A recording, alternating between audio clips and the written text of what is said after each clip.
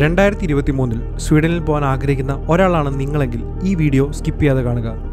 നാട്ടിലെ ഏത് വലിയ ഏജൻസി പോയാലും ഈ സത്യങ്ങൾ നിങ്ങളോട് പറഞ്ഞു എന്ന് വരില്ല. ഇന്റർനാഷണൽ സ്റ്റുഡൻസിന് റെസ്ട്രിക്ഷൻസ് ഇല്ലാതെ അൺലിമിറ്റഡ് ആയിട്ട് പാർട്ട് ടൈം ചെയ്യാൻ പറ്റുന്ന ഒരു കൺട്രിയാണ് Sweden.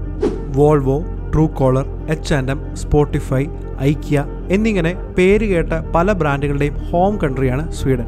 അൺലിമിറ്റഡ് പാർട്ട് ടൈമും ഇങ്ങനെയുള്ള വലിയ വലിയ കമ്പനീസ് ഉള്ളതുകൊണ്ടും തന്നെ പല സ്റ്റുഡൻസിന്റെയും ഒരു ഡ്രീം കൺട്രി കൂടിയാണ് സ്വീഡൻ. എന്നാൽ ഈ വീഡിയോയിൽ പറയാൻ പോകുന്ന കാര്യങ്ങൾ മൊത്തമായി കണ്ടിട്ട് മാത്രം നിങ്ങൾ ഒരു തീരുമാനം എടുക്കുക. സ്വീഡനിൽ പോകുന്നവർ ഏറ്റവും കൂടുതൽ ഫേസ് ചെയ്യുന്ന ചലഞ്ച് ലാംഗ്വേജ് തന്നെയാണ്. Part time or full time ജോബാണ് നിങ്ങൾ നോക്കുന്നതെങ്കിൽ പോലും ഐ ടി സെക്ടർ വെച്ച് ഏത് ജോബ് സെക്ടറിലാണെങ്കിലും ലാംഗ്വേജ് അറിയേണ്ടത് വളരെ മാൻഡേറ്ററി ആണ്. സ്വീഡിഷ് ലാംഗ്വേജ് അറിയാത്ത ഒരാളാണ് നിങ്ങളെങ്കിൽ അവിടുത്തെ ഡേ ടു ഡേ ലൈഫ് തന്നെ നിങ്ങൾക്ക് ബുദ്ധിമുട്ടായേക്കാം. പാർട്ട് ടൈം ജോബ്സ് ഒക്കെ സ്വീഡന്റെ എല്ലാ ഏരിയയിലും തന്നെ കുറെ അവൈലബിൾ ആണെങ്കിൽ പോലും അത് വെച്ച് അടുത്ത സെമ്മിന്റെ ഫീസ് അടയ്ക്കാൻ പ്ലാൻ ചെയ്യുന്ന ഒരാളാണ് നിങ്ങളെങ്കിൽ അത് നിങ്ങൾക്ക് പറ്റി എന്ന് വരില്ല.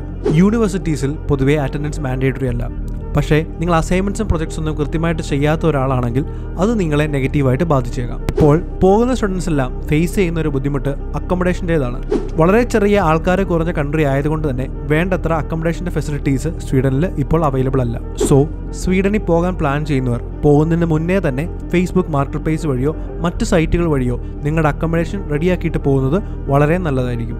മറ്റൊരു കാര്യം എന്തെന്ന് വെച്ചാൽ ക്ലൈമാറ്റിക് കണ്ടീഷൻ വളരെ എക്സ്ട്രീം ആയിട്ടുള്ള ഒരു കൺട്രിയാണ് സ്വീഡൻ. വർഷത്തിൽ പലപ്പോഴും തന്നെ ഉച്ചയ്ക്ക് രണ്ടരയാവുമ്പോൾ തന്നെ രാത്രിയാവുന്ന ഒരു രീതിയാണ് അവിടെയുള്ളത്. സൺലൈറ്റ് കിട്ടുന്നത് വളരെ കുറവായതുകൊണ്ട് തന്നെ പൊതുവേ കുറച്ച് ഗ്ലൂമി ആയിട്ടുള്ള അന്തരീക്ഷമാണ് സ്വീഡനിൽ നമുക്ക് കാണാൻ പറ്റുന്നത്. അൺലിമിറ്റഡ് പാർട്ട് ടൈം ചെയ്യാം എന്നോർത്ത് മാത്രം ആരും സ്വീഡൻ ചൂസ് ചെയ്യരുത്.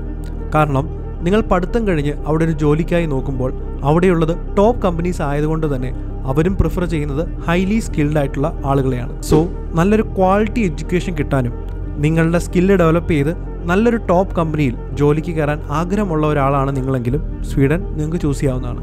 എബ്രോഡ് പോകുന്ന റിലേറ്റഡ് ആയിട്ടുള്ള ഇങ്ങനെയുള്ള സത്യങ്ങൾ അറിയുവാൻ ബീങ് എബ്രോഡ് ഫോളോ ചെയ്യുക. നിങ്ങളുടെ ഡൗട്ട്സ് ഒക്കെ താഴെ കമന്റ് ചെയ്യുക.